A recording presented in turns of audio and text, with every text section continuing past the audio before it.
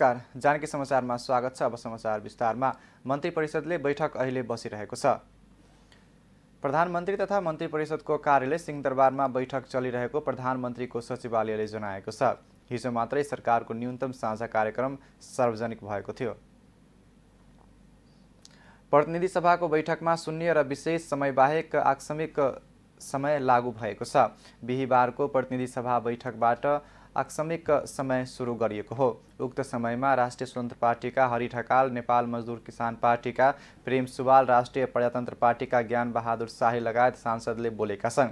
सभामुख देवराज घिमिरेले आकस्मिक समय लागू गरिएको जानकारी गराए। त्यसका लागि तिन मिनट समय छुट्याइएको पनि बताए। सभामुख देवराज घिमिरेले कार्यव्यवस्था परामर्श समितिमा सदस्यहरूलाई मनोनयन गर्ने भएको छ। प्रतिनिधि सभाको बिहिबार बसेको बैठकमा सभामुख घिमिरेले कार्यव्यवस्था परामर्श समितिमा सदस्यहरूको मनोनयन गर्न भएको हो। उहाँले प्रतिनिधि सभा नियावली दुई हजार उनासीको नियम तेह्र बमोजिम प्रतिनिधि सभा कार्यव्यवस्था परामर्श समितिमा सदस्यहरूलाई मनोनयन गरेको जानकारी गराउनुभयो। कार्यव्यवस्था परामर्श समितिमा प्रतिनिधि सभा सदस्यहरू अजय कुमार चौरसिया अनिता देवी गङ्गाराम चौधरी जीवन परियार तारा लामा तमाङ र नगिना यादव पर्नु भएको छ। त्यसै गरी पदम गिरी प्रदीप यादव महेश कुमार बर्तौला मेटमणि चौधरी रमेश लेखक रामप्रकाश चौधरी रामहरि खतिवाडा र रूपा सोसी चौधरी पनि समितिमा पर्नु भएको छ। सभामुख घिमिरेले लेखनाथ श्रेष्ठ विद्या भट्टराई सन्तोष परियार सरिता प्रसाई हितराज पाण्डे र ज्ञानबहादुर शाहीलाई पनि कार्यव्यवस्था परामर्श समितिमा मनोनयन गरेको जानकारी गराउनुभयो। जनता समाजवादी पार्टी नेपालका सांसद प्रदीप यादवले बारा र पर्सा जिल्लाको सिमानामा पर्ने सिर्सिया नदी प्रदूषित गर्ने उद्योगहरूलाई कारबाही गर्न माग गर्नुभएको छ। बिहिबारको प्रतिनिधि सभा बैठकमा सांसद यादवले सिर्सिया नदी किनारमा विभिन्न उद्योगहरू सञ्चालनमा रहेका र ती उद्योगहरूबाट निस्किने रासायनिक पानी सिधै नदीमा मिसाउँदा नदी प्रदूषित भएको बताउनुभयो। उहाँले नदी प्रदूषित हुँदा मानिस र पशु चौपायालाई समेत छाला सम्बन्धी विभिन्न रोगको सङ्क्रमण भएको भन्दै त्यसतर्फ सरकारको ध्यान आकर्षण गराउनुभयो।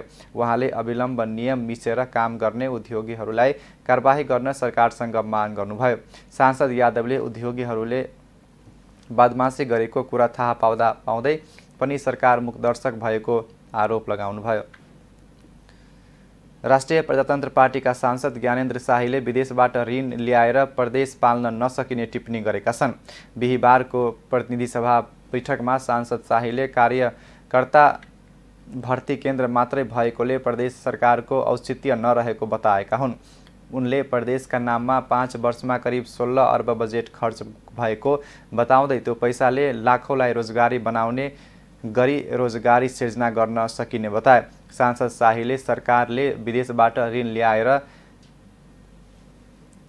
ऋण ल्याइरहे पनि हरेक दिन बेरोजगारीहरू बेरोजगारीको सङ्ख्या बढिरहेको बताए। हालका हालका प्रधानमन्त्री र यसअघिका प्रधानमन्त्रीहरूले विदेशबाट ल्याएको ऋणको हिसाब किताब देखाउनु पर्ने उनले बताए।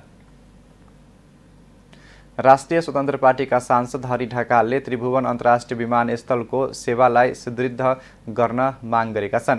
प्रतिनिधि सभाको बिहिबारको बैठकको आकस्मिक समयमा उनले विमानस्थलमा देखिएको व्यथिति र लापरवाहीका कारण एक निर्दोष नेपालीले कतारको जेलमा बन्दी जीवन बिताइरहनु परेको बताएका हुन्। सांसद ढकालका अनुसार गैत वैशाखमा वैदेशिक रोजगारका लागि कतार जान लागेको एक नेपालीको झोलामा कसै कसैले झुक्क्याएर लागु औषध राखिदिँदा कतारको विमानस्थलमा पक्राउ परेको उनलाई दस वर्ष कैद र तिन लाख जरिवाना तोकिएको छ। उनले सभामुख मार्फत गृहमन्त्रीलाई उनी जस्ता निर्दोष नेपाली कतारको जेलमा अरू कति छन्?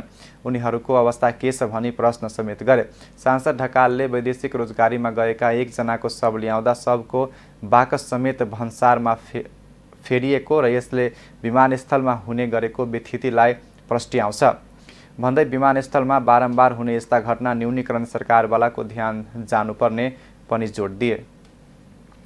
आगामी वैशाख दस गते उपनिर्वाचन हुने तीन जिल्लामा आजदेखि निर्वाचन आचार संहिता लागू हुने भएको छ। चितवन क्षेत्र नम्बर दुई बाह्र दुई र तनहु एकमा उपनिर्वाचन हुँदैछ। आचार संहिता ती तीन जिल्लामा मात्र उपनिर्वाचन सम्पन्न नभएसम्मका लागि लागू हुने निर्वाचन आयोगका प्रवक्ता शालिग्राम शर्मा पौडेलले जानकारी दिए। निर्वाचन आयोग ने आयोगले मन्त्रीहरू उपनिर्वाचनका उम्मीदवार, मतदाता, संवैधानिक निकायका पदाधिकारी, कर्मचारी, सुरक्षाकर्मी, स्थानीय कार्यपालिकाका सदस्य, शिक्षक, निजी तथा गैर सरकारी संस्थाका पदाधिकारी र कर्मचारी विकास साझेदार संस्था लगायतका लागि निर्वाचन आचार संहिता लागू गर्ने निर्णय गरेको हो। आयोगका प्रवक्ता पौडेलका अनुसार मन्त्री परिषद विस्तारलाई आचार संहिताले रोक्दैन।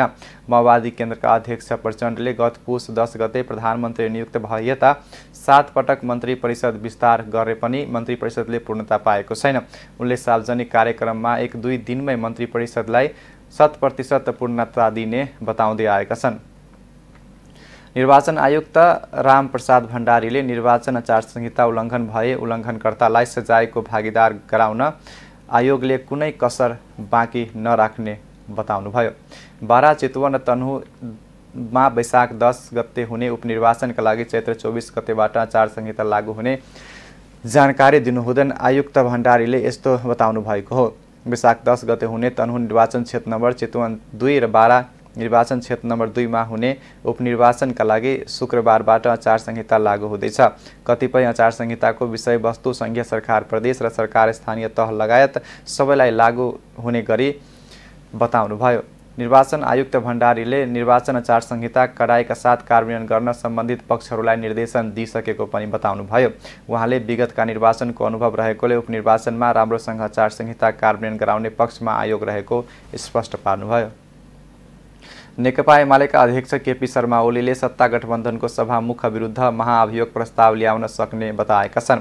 बिहिबार पार्टी निकट पेसागत महासङ्घको कार्यक्रममा उनले कुनै दिन सभामुख विरुद्ध पनि महाअभियोग ल्याउन बेर नलाग्ने टिप्पणी गरेका हुन्।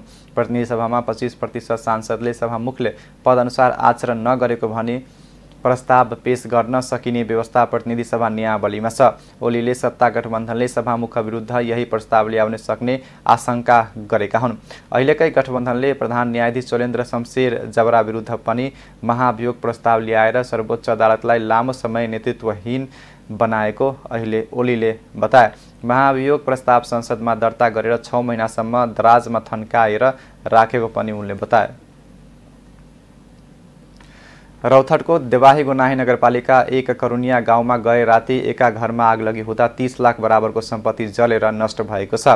बिहिबार साँझ एक्कासी करुनिया गाउँका मुन्ना मियाको घरमा आग लगी भएको थियो। आग लगीबाट घरमा रहेको नगद लत्ता कपडा फर्निचर धान गहुँ मसुरो मन्सुरी साथै पक्कै भवन निर्माणको लागि तयार अवस्थामा राखिएको सालको झ्याल ढोका लगायत खरको छाना भएको घर समेत जलेर तिस लाख बराबरको क्षति भएको पीडितले जनाएको छ।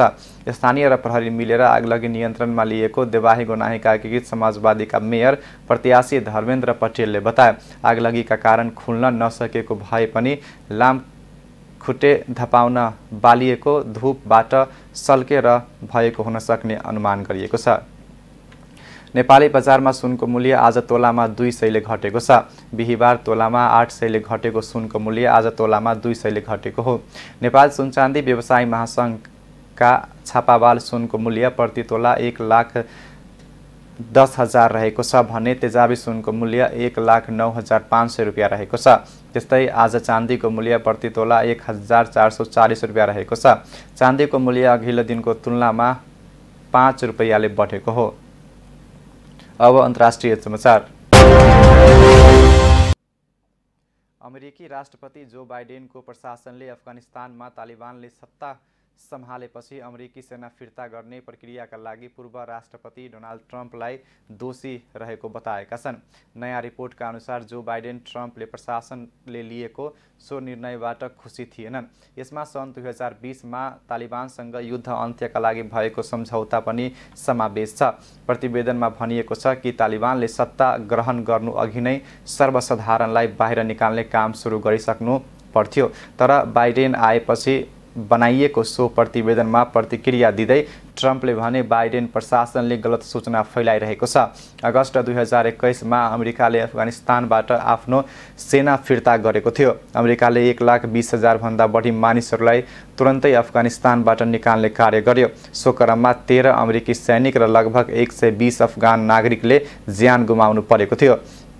विदेश मन्त्रालय र पेन्टागनले अफगानिस्तानबाट अमेरिकी सेना फिर्ता गर्ने निर्णयको समीक्षा गरेका छन्। यो समीक्षा प्रतिवेदन गोप्य रूपमा ससंज्ञा पठाइएको छ। अब खेल समाचार। इन्डियन प्रिमियर लिग आइपिएलमा कलकत्ता नाइट राइडर्सले रोयल च्यालेन्जर्स बेङ्गलोरलाई पराजित गरेको छ। बिहिबार राति भएको खेलमा कलकत्ताले बेङ्गलोरलाई एकासी रनले पराजित गरेको हो। जितको लागि दुई सय पाँच रनको लक्ष्य पछ्याइएको बेङ्गलोर सत्र ओभर चार बलमा अल आउट हुँदै एक सय तेइस रन मात्र बनायो।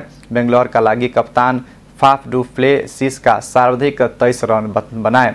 यसै विराट कोहलीले एक्काइस डेभिड बिल्लीले अभिजित बिस माइकल ब्रेस वेलले उन्नाइस तथा आकाशदीपले सत्र रन बनाए। अन्य ब्याटरले दोहोरो अङ्कमा रन बनाउन सकेनन् कलकत्ताका वरुण चक्रवर्तीले चार सुयस शर्मा तिन सुनिल नारायण दुई तथा शार्दुल ठाकुरले एक विकेट लिए। त्यसअघि टस हारेर पहिले ब्याटिङ गरेको कलकत्ताले बिस ओभरमा सात विकेट गुमाएर दुई सय चार रन बनाएको थियो। कलकत्ताका लागि शार्दुल ठाकुरले अडसठ र हनुमानुल्लाह गुर्जाजले सन्तावन तथा रिङ्कु सिंहले छ्यालिस रन बनाए। बेङ्गलोरका लागि डेभिड बिल्ली र कर्ण शर्माले समान दुई दुई तथा मोहम्मद सिराज हर्सल पटेल र माइकल ब्रेसवेलले समान एक एक विकेट लिए। हस् त जानकी समाचार अहिलेको लागि यति नै। जानकी टेलिभिजन हेर्दै गर्नुहोला। नमस्कार।